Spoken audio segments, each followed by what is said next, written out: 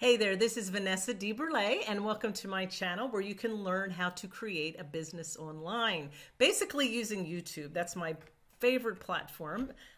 What I want to show you today is how to make an end screen for your YouTube video. You hear people talking about that. Maybe you're not really sure what it is or how to do it. So I'm going to show you step by step how to add an end screen to your videos. And the neat thing is you can go back and add them. You can go back and edit them if you decide to change what they are. So the first thing you need to do is log in to your YouTube channel. Well, first you need to subscribe to my channel, then log in, okay?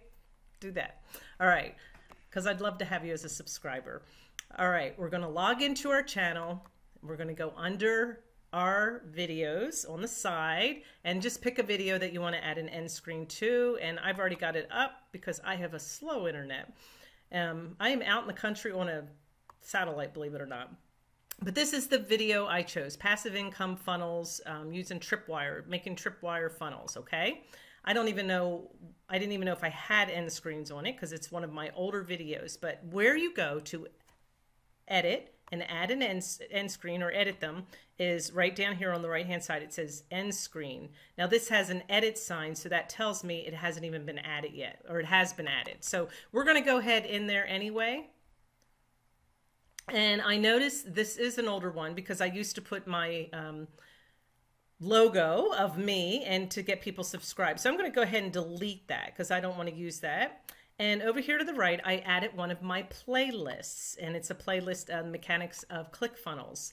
Now, I was talking about a tripwire funnel, which is made in ClickFunnels, so I'm going to keep that there. So if people were interested in creating tripwire funnels, they probably want to know more about ClickFunnels and all the different mechanics. I've got 44 videos in there. Surely there's something. Now, this one I'm going to change. It says, Do you have a millionaire mindset? I'm just going to delete that. Now, how do I add? Let's pretend you have nothing, okay? You're going to go up here where it says element to the left, and you're either going to add a video, you're going to add a playlist, or you can add subscribe where you saw my little logo. If you say you want to add a subscribe link, the little logo that you have on your YouTube channel, which is usually a picture of yourself, that is what's going to pop up. And you can also add another channel or other links. Today, we're just going to add a video, okay? Now this is about, um, I can do my most recent video, which I kind of have started doing.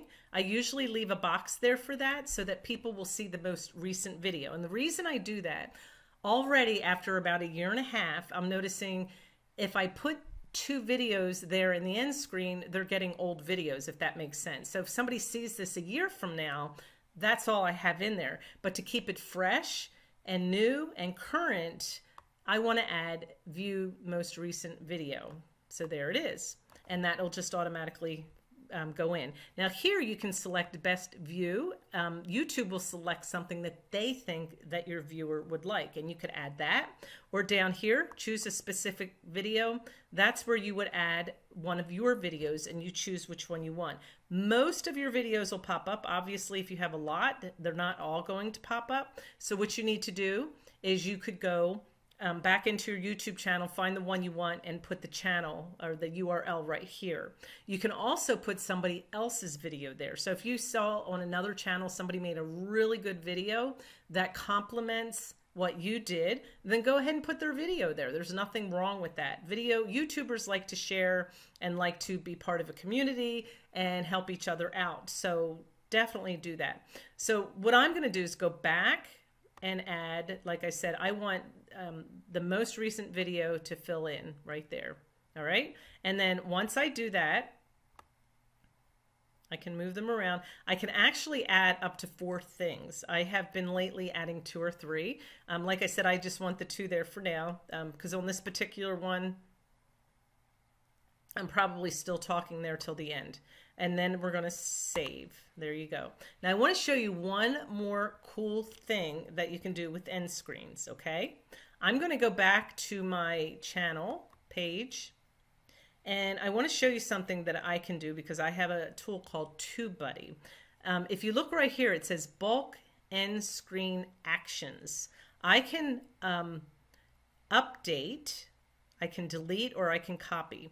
I'm good. I can update a whole bunch of videos at one time if I want. Let's say that millionaire mindset was a video that I was using as an, an end screen. And I'm like, I don't really, I'm not really going down that path. I don't make enough videos about that topic to really, you know, justify having it there. I can go in here and it says, I can say video elements. Okay. I can add that video URL and then I can say upload that with something different. So I can set it with a different URL. Bulk editing from TubeBuddy will go into all 400 of my videos and find that video that I added as an end screen and replace it with something else. So that's pretty cool. So you can do it in a bulk set. and I think, gosh, it saves so much time. Now let's go ahead and look at the other ones. One says copy, bulk screen.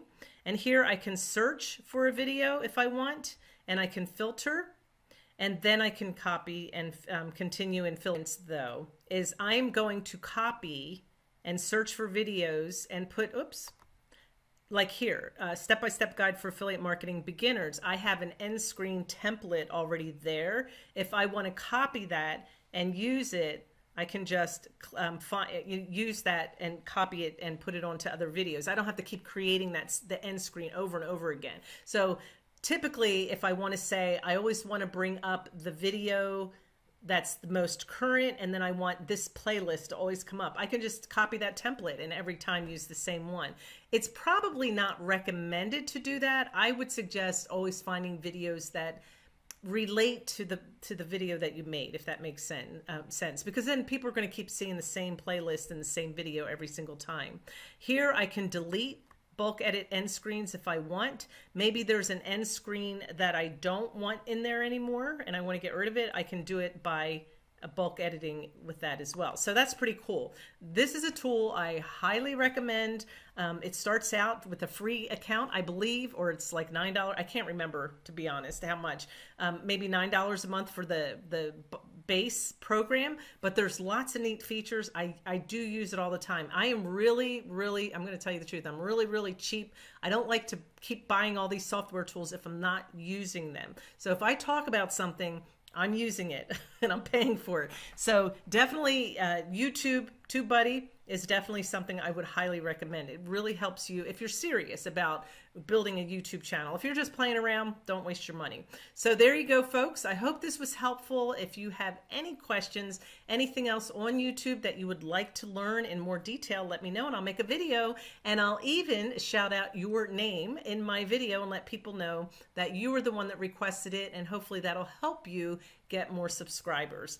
You have a good one. And again, Thank you for watching. And if you didn't subscribe at the beginning, subscribe now.